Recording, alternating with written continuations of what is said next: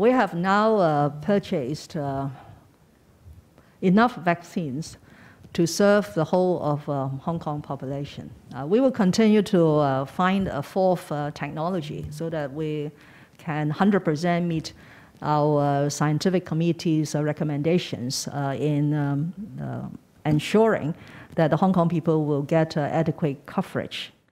This vaccination will still be a non-market behavior. It is still a government vaccination program uh, because it is uh, going to be uh, authorized for use under emergency situation um, as provided for uh, in the regulation made today. The so-called specified purposes basically will be referring to the government vaccination program.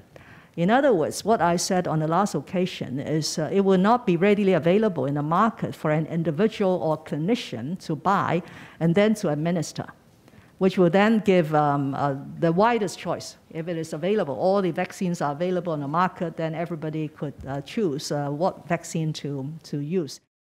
We would be giving individuals the choice in terms of the timing of receiving the vaccination and also the, the, the site. Where, where, where does this individual want to get the vaccination? And by that, there will be choices because we now have uh, procured three um, different vaccines. So I imagine that uh, once we have rolled out the program, a particular vaccine will be administered in a particular site. For example, a community vaccination center uh, versus a private doctor's uh, clinic versus a hospital setting uh, versus an elderly care home. So uh, if the individual uh, is able to choose, uh, I don't want to go to the vaccination center, I prefer to go to a private doctor's because the private doctor's site will use um, a particular vaccine, then the choice is there.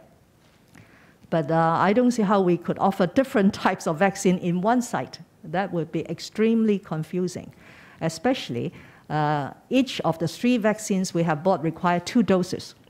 So we have to uh, manage uh, the quantity to make sure that uh, if you choose this, we will have a second dose available and ready for you to use. So it has to be done in that way. As far as details of the fund, whether there will be other uh, prerequisites or uh, criteria before um, uh, individuals being affected will be eligible, this will be deliberated and discussed and then presented to the Finance Committee.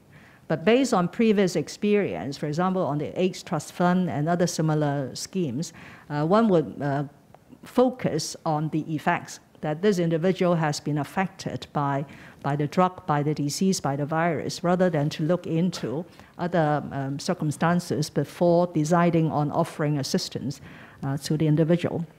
But uh, this is only an illustration. I would suggest that um, the, you have to wait for, uh, for us to present the details about this indemnity uh, fund later on.